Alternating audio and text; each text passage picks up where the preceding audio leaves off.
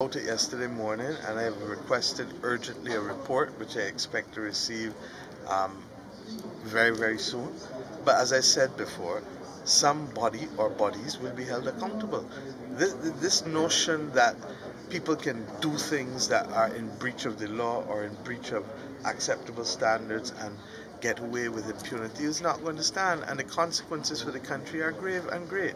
So let us be very clear that those breaches will be dealt with. thank you